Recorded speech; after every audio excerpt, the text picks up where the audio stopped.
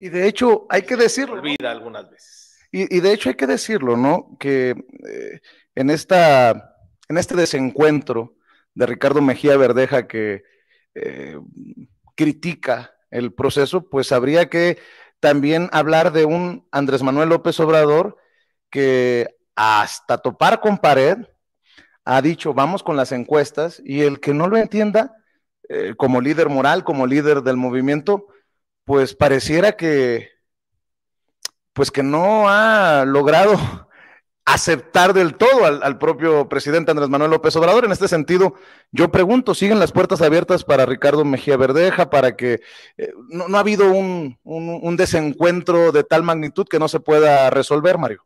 Nosotros esperamos que actúe con responsabilidad, eh, que no nada más de dientes para afuera decir, pues, estoy con el presidente y somos leales al presidente, y en los hechos, pues forme alguna corriente de opinión o actúe eh, en contra de nuestro movimiento o, ya sea de brazos caídos. Creo que es el momento de sumar. Tenemos toda la posibilidad de ganar eh, Coahuila.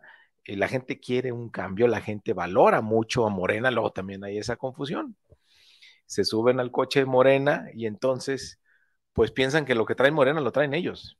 Y no, ya he visto muchas historias donde pues se bajan del coche de Morena porque no les gusta la encuesta y enfrentan su realidad pues de que la fortaleza está en el movimiento. Entonces esperamos que actúe con, con responsabilidad para poder ganar Coahuila. Es una oportunidad histórica dejar al PRI sin eh,